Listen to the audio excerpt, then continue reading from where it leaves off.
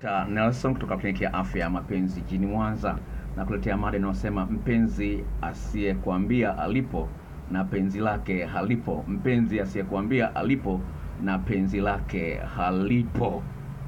Msikilizaji, nimekuletea mada hii kutoka kuonyesha jinsi gani ni muhimu kwa watu wawili ambao wanapendana kutengeneza mazingira ya ushirikiano mkubwa na kuwa na nidhamu ya mawasiliano. Napozungumzia nidhamu ya mawasiliano, ni muhimu sana ujenge tabia ya kumshirikisha mwenzio, unaenda wapi, unaenda kufanya nini, na unatarajia kurudi baada ya muda gani.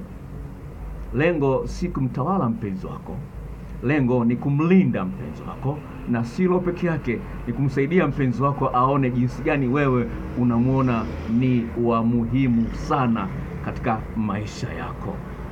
Sasa usipojenga nidhamu hiyo ya mawasiliano, ni rahisi sana kutafuta visingizio. Oh, kwani mimi mtoto mdogo unichunge, kwani nini, sijui nini. Ni rahisi sana, lakini ukweli ni kwamba ili kujenga uhusiano uliojaa utamu tele na kuziba mianya ya mtu kuchepuka, nidhamu ya mawasiliano ni jambo la msingi sana.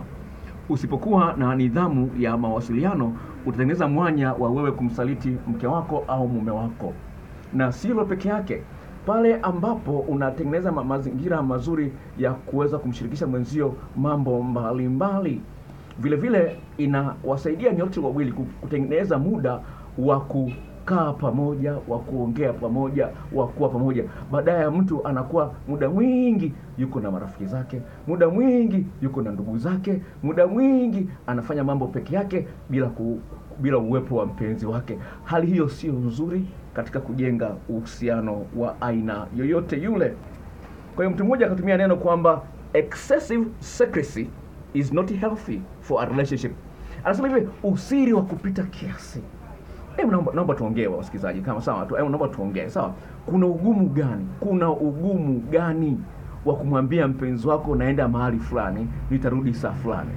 Kuna ugumu gani? Naenda mahali fulani kufanya kitu fulani, na kitu hicho kiwe cha kweli. Kwa hiyo unapokaa kimya na ukafanya mambo yako kimya kimya, inamaanisha unamweka mpenzi wako katika eneo ambalo atakuwa na wasiwasi na wewe. Sasa hali hii inapokuwa inajirudia rudia, inaanza kupunguza uwezo wa mtu kukuamini. Sasa ndugu msikilizaji, kila siku inaenda kwa Mungu, kuna watu wanasalitiana, na hata sasa hivi unapoangalia video hii, kuna mtu anamsaliti mwenzie. Sasa huoni kwamba kutengeneza mazingira ambapo inakuwa ni rahisi wewe kumshirikisha mwenzio uko wapi, unafanya nini, ni kitu ambacho kitasaidia sana kupunguza uh, mwanya wa mtu kukusaliti. Lakini hivi kama unaona kwamba ni muhimu sana kuwa karibu na mpenzi wako, hii ni moja kati ya njia ya kumthibitishia mpenzi wako kwamba ni wa thamani sana na unapenda kuwa na yeye, lakini umelazimika kutoka kuwa na mambo fulani fulani kuwa mbali na yeye. Kwa hiyo unapomwambia naenda mahali fulani, naenda kufanya jambo fulani, sio kwamba huyu kwamba unajishusha una, una, una sana. No, ni jambo ambalo linaonyesha jinsi gani unamthamini unamthamini mtu uliye naye. Nakumbuka siku moja nilikuwa na nampigia simu mke wangu, namwambia naenda kufanya shooting ya video, nitakuwa nimemaliza baada ya nusu saa.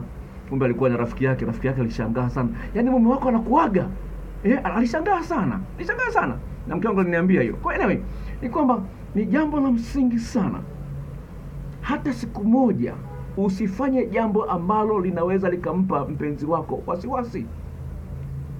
Sasa watu wengi, kwa sababu wameshakubaliana kwamba usishike simu yangu na wewe sitashika simu yako, wanaona ni jambo la sawasawa kabisa kuto kumshirikisha mwenzio unaenda wapi, unafanya nini, wanaona ni jambo la kijinga. Si kweli kwamba ni jambo la kijinga, ni jambo la msingi ufahamu kwamba mpenzi wako anahitaji kuthibitishiwa kwamba ni wa muhimu kwako, ni wa thamani kwako. Kwa hiyo unapoenda mahali fulani, unapoenda naenda mahali fulani, naenda kufanya kitu fulani, nitarudi saa ngapi? Least anakuwa na matarajio kwamba mwenzangu baada ya muda fulani atakuwa yuko hapa.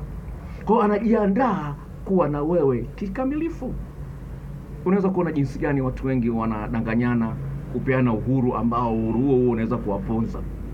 Kwa hiyo jambo la msingi uangalie kwamba usije ukampa mwenzio nafasi kubwa sana kiasi ambacho akajikuta anaanza kutamani wanawake wengine au wanaume wengine. Jijengee nidhamu ya mawasiliano, ulinde uhusiano wako.